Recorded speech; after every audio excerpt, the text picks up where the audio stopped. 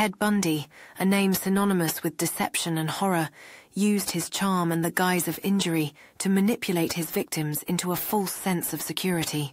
He would often approach his victims in public places, feigning helplessness and vulnerability to gain their trust. Once he had them within close proximity, Bundy would switch from his facade of helplessness to one of violence and control, catching his victims off guard.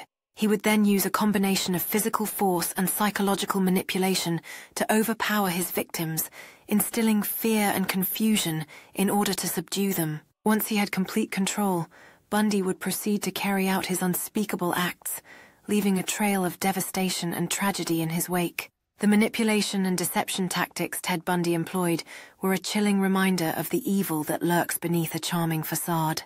Despite his outward appearance of normalcy, Ted Bundy's heinous crimes serve as a stark warning about the danger posed by those who hide their true intentions behind a mask of